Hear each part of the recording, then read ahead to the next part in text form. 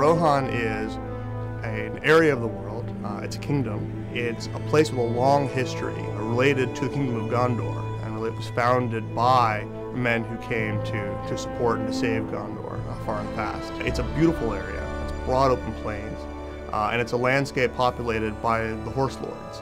Within the Riders of Rohan, we're going to have some really amazing places to go visit. You're going to be able to see Amon Hen, where the Fellowship breaks up and where Boromir is slain. You're going to be able to go into Fangorn and explore the, the edges of that misty forest with all of the wonders and terrors that exist there.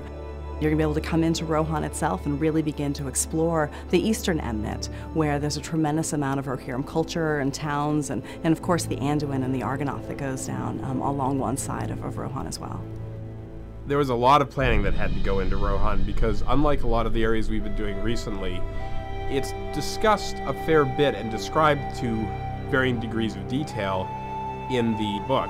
It was very difficult because we have a major river on one side, we have two major mountain ranges that we've already started building on the other side, and then we have this sort of valley in between where Rohan is, and it took a lot of work to get that into a state where it all made sense as Rohan culture is based on uh, Anglo-Saxon culture and uh, Norse and Danish culture, we took a lot of uh, design cues from them, and one thing that is very prevalent in their artwork from that period is interlace patterns. And so we went through and we basically developed a series of design rules for the interlace that would be specific and endemic to each geographic division within Rohan. And so these things would vary in terms of the angularity or the curvature of the different lines within the knotwork or the frequency, the cadence of the way those lines repeat.